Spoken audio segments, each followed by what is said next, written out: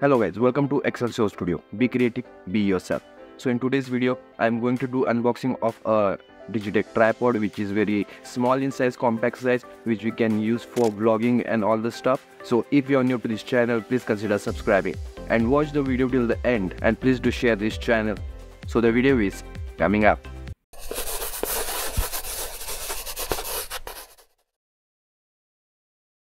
So hello guys, so this is the tripod which I'm going to show you.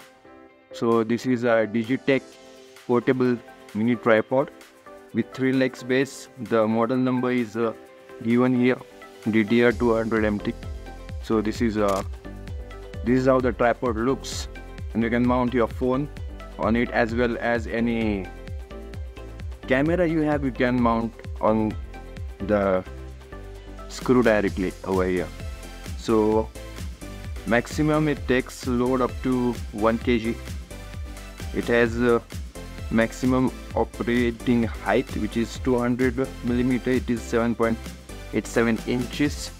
Then it is a minimum operating height 130 meter millimeters and all foldable height weight then okay we have the two sections which we can extend the legs.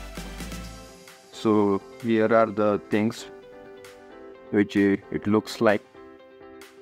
And if you want to buy this tripod i will give the link in the description below. Please go ahead and purchase it from here. So let's go ahead and open the box now. So we get a mobile holder with it. As you can see it's very simple looking. Then the tripod is here itself. So let's keep box aside so here's the tripod itself guys which is of uh, it has a ball head which is uh, which you can roll it. And we, if you want to take a vertical video for shots and all you can put the holder like this. And you can put a mobile in a vertical position like this over here. So it's a nice thing which it has a ball head in new tripods and we can extend it to a height of like this.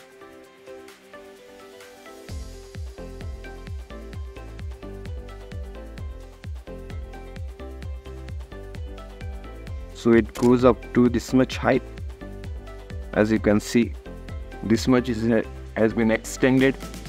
The legs build quality of this tripod is very good as it is sturdy it's not clumsy the plastic quality is nice. So if you want to buy this tripod so i will give the link in the description below. Please go ahead and check it.